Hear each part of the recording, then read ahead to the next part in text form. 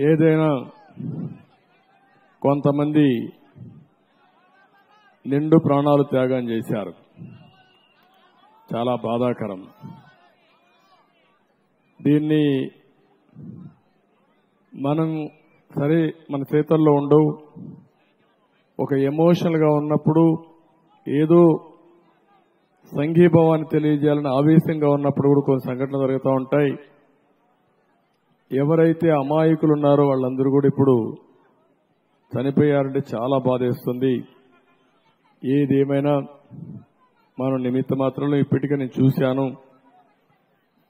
ఒక ఐదు మంది అయితే చనిపోయారంటున్నారు. ఇంకొక ఇద్దరు కూడా సీరియస్గా అంటే డిక్లేర్ అనే విధంగా ఉన్నారు.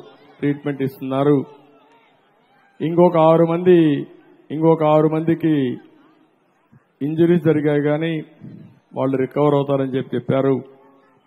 ఏదేమైనా ఈరోజు మన మీటింగ్కి వచ్చి తెలుగుదేశం పార్టీ కుటుంబ సభ్యులు గాని రాష్ట్ర ప్రయోజనాల కోసం పోరాడిన వాళ్ళు గాని ప్రాణాలు పోగొట్టుకోవడం ప్రాణత్యాగాలు చేయడం చాలా విచాక విచారకరం. నేను ఒకటే మిమ్మల్ని అందరినీ కోరుతున్నా నేను ఆ కుటుంబాలకు అండగా ఉంటా. త్యాగాలు చేసిన త్యాగాలు చేసిన కుటుంబాలకి ఎందుకంటే ఇప్పుడు కూడా నాకు అప్పుడప్పుడు అనిపిస్తుంది. పోలీసులు కూడా రిక్వెస్ట్ చేస్తున్నా. మీరు కూడా కొంత ఎక్కువగా ఉండి ఎక్కడికక్కడ రెగ్యులేట్ చేస్తే మేము ఎంతైనా కూడా ప్రజల ఆవేశంగా ఉన్నప్పుడు కొద్దిగా పోలీసులు కూడా రెగ్యులేట్ చేయాల్సిన బాధ్యత మీ పైన ఉంది. మీరు కూడా రెగ్యులేట్ చేసి ఎక్కడికక్కడ కానీ ఇది చేస్తే ఇంకొంచెం ఏ విధంగా ఉంటుందో చెప్పలేము. ఒకసారి ఇది ఒక ఒక మాటలో చెప్పాలంటే డెస్టినీ. ఏది ఏమైనా చనిపోయిన కుటుంబాలకి ఇంకా ఒకరిద్దరు ఉంటే అందరికి కూడా ఒక్కొక్క కుటుంబానికి ఒక్కొక్క వ్యక్తికి ఒక పది లక్షల రూపాయలు పార్టీ పరంగా ఆర్థిక సహాయం చేస్తాం.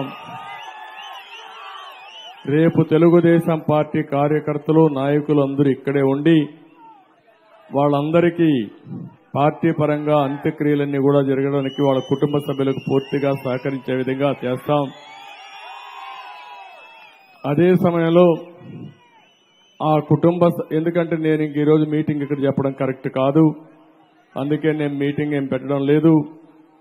ఈ దీన్నే ఒక సంతాప సభగా మనం మలుచుకోవాల్సిన అవసరం ఉంది చేయాల్సిన అవసరం ఇంతమంది వచ్చి మనం వెళ్ళిపోవడం కంటే మనమందరం ఆ కుటుంబాలకు ప్రగాఢ సానుభూతి తెలియజేస్తూ చనిపోయిన వారి ఆత్మకు శాంతి కలగాలని భగవంతుని రెండు నిమిషాలు మౌనంగా పాటిస్తూ అదే మరిగా త్యాగాలు చేసిన వాళ్ళ మనశ్శాంతికి భగవంతుడు అన్ని విధాలా శాంతించే విధంగా వాళ్ళ ఆత్మకు శాంతి జరిగేట్టుగా ఆశీర్వదించాల్సిందిగా భగవంతుని ప్రార్థిస్తూ ఈ సంతాప సభలో ఎవరైనా వాళ్ళలో ఇంజురీస్ అయిన వాళ్ళు కూడా ఇప్పుడే నాగేశ్వరరావు చెప్తున్నా ఇక్కడే ఉంటారు.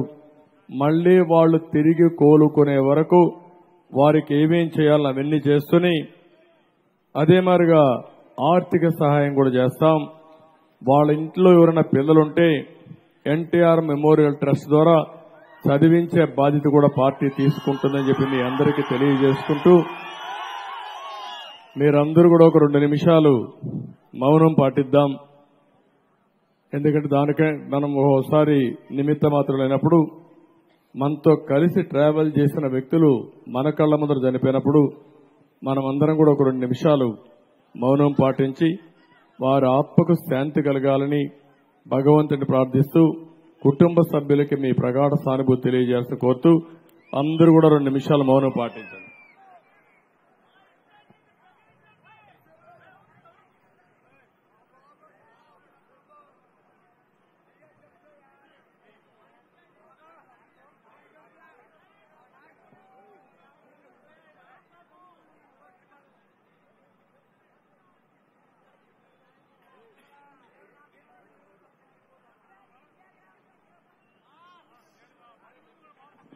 ఓకే. కాబట్టి మళ్ళా నేను ఇంకొకసారి వస్తాను ఇక్కడికి. మనం మీటింగ్ పెట్టుకుందాం. దయచేసి